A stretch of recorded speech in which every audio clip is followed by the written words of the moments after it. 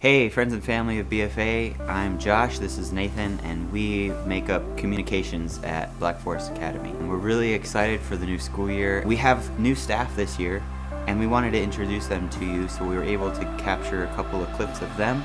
So here they are. Hi, I'm Dawn, and I'm from Ohio, and I'm doing discovery therapy. Hi, I'm Erica, I'm Tim, and we are from Northern Alberta, Canada. And we will be dorm parents at HBR. Hello, I'm Sarah. I'm from Toronto, Canada, and I'll be teaching French. We are Bill and Debbie Bateman. We will be dorm parents at Blauenhof, the new dorm at Black Forest Academy. And we come from Philadelphia. Go Eagles. Woo! Hi, my name is Corey, and I'm from Michigan, and I'm serving as a resident assistant in Blauenhof. Hi, my name is Tessa Sidner, and I'm from Virginia, and I'm the ELL teacher. I'm Joshua Edwards. I'm from Japan, and I'm a resident assistant at Zona.